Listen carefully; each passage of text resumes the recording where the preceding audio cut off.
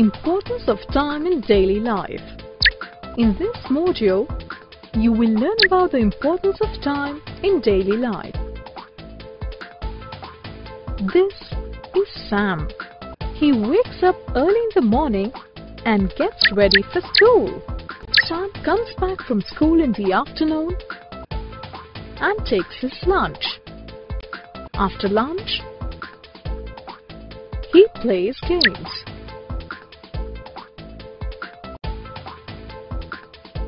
Sam does his homework in the evening.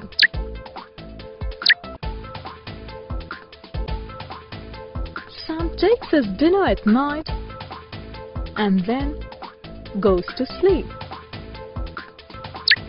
In this module, you have learnt that morning is the time to go to school. Afternoon is the time to come back from school, take lunch and play games. Evening is the time to study.